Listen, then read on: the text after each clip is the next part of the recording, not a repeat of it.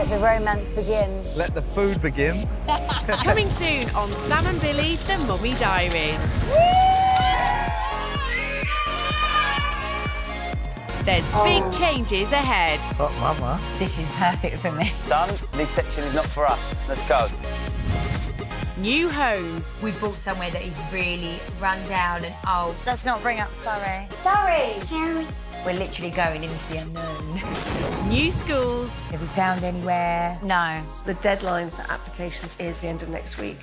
Do you think homeschool? I wouldn't mind if it was an option. He needs to go to school. Oh, oh, oh, oh, oh. and new rules. No more hitting.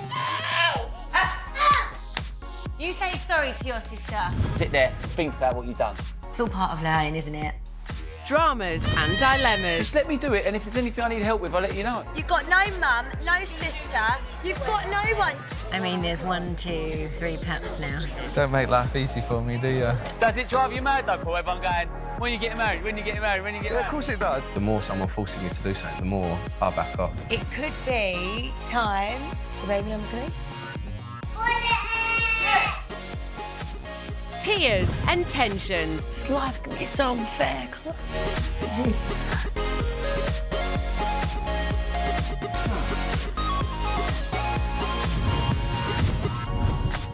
and a whole heap of love and laughter.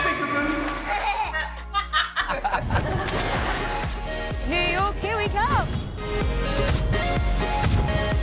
Pull my finger.